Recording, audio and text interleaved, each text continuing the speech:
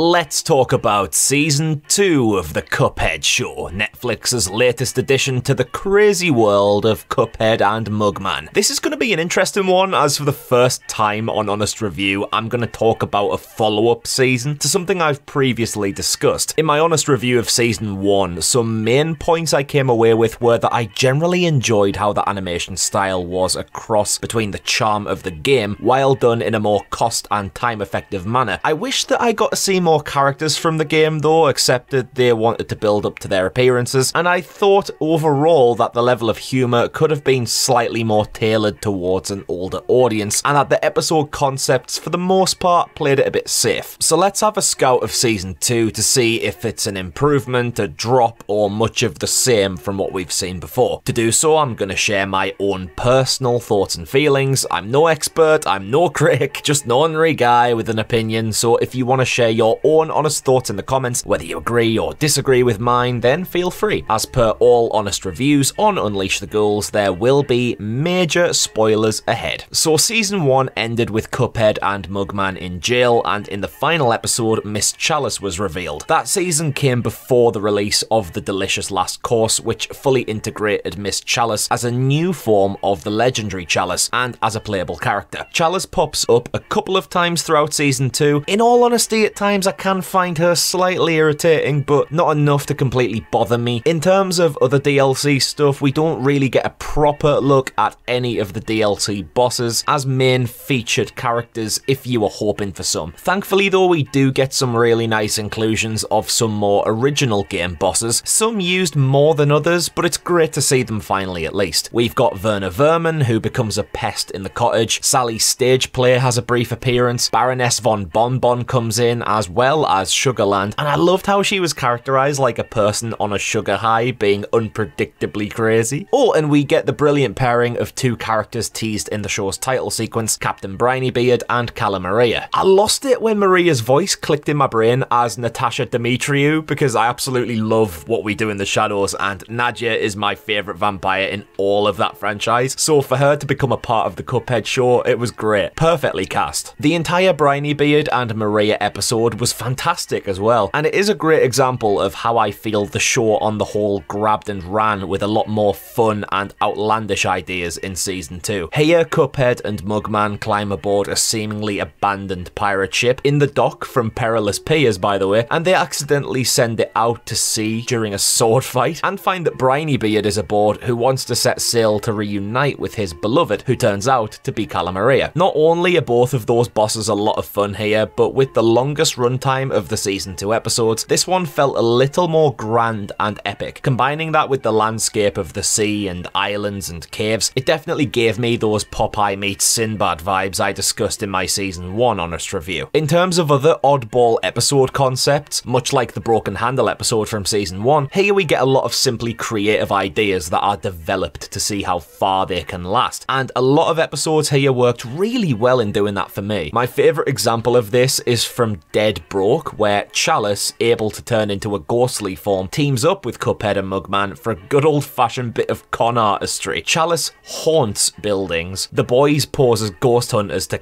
capture her and then demand money for doing it. The idea in itself is inspired and funny, but it goes one step further when they attempt the scam on a genuinely haunted house. This was a series highlight for me, and generally a lot more episodes in this run were unique and memorable compared to the first season. My favourite episode here, and the most I've genuinely laughed in this show to date, came from the episode Ice Cream Man.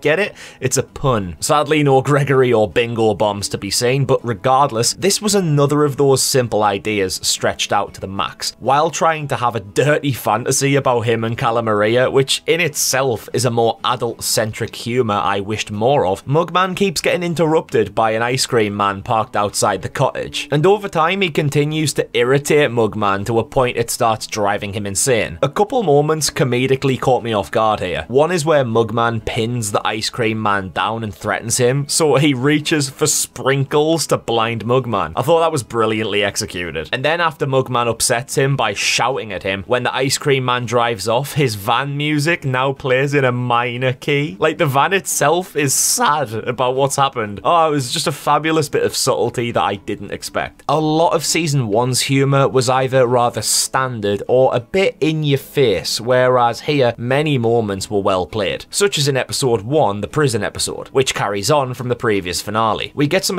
establishing shots of the prison with a harmonica playing in the background, then cuts inside to reveal there's a living harmonica playing itself in a cell. It was that almost reverse fourth wall effect where what you think is incidental music suddenly becomes part of the world, and that's like 20 seconds into episode 1, so already I knew we were off to a stronger start. Just little details worked so well here for laughs, like Cuphead and Mugman now have stubble and black and white striped straws. Then when trying to dig a tunnel with a spoon, the spoon breaks, so Cuphead uses his head to dig. Those moments all served up some giggles from me. And I love that across the board they've injected some more ridiculous humour in there that complements the daftness of the Cuphead world. When trying to jailbreak, the boys are punished with breaking rocks. Then after another attempt, they're punished with spending a night in the box. And then, after trying to escape again, they're punished with spending a night in the box while breaking rocks. It's just the right kind of silliness for me that made it work. Don't get me wrong though, I don't think season 2 was perfect throughout by any means. A couple episodes didn't really bother me. I thought episode 2 with the angry mob coming after Chalice was a very weak drop after how good the jail episode was. And there were definite peaks and troughs here, but I think that even season 2's weakest episodes were still stronger than most of season 1's. And the fact there's at least 4 or 5 episodes here I had so much fun with and would happily rewatch on several occasions, that's a good sign for me. It's a definite step in the right direction, with some of the same problems still there, just much less of them, and many improvements made in general for me. The humour is more refined. I don't find Cuphead and Mugman as annoying, which is something quite a few people brought up last time. They didn't really bother me before, but now I'm satisfied with the way they've been characterised, and they went more off the wall with the episode concepts, which I'm well happy with. If I had to deduct some points here, it's that sometimes the show forgets its own strengths. It's integrated a continuity where previous storylines and events are brought up now and again, which I really like, and it even gives context as to how Brineybeard got his two wooden legs, but one deviation from that strength that stuck out to me was the Ball Boy episode. Cuphead and Mugman fall out with each other, and so Cuphead seeks to find a new brother and comes across Ball Boy, a purposely shriekingly irritating character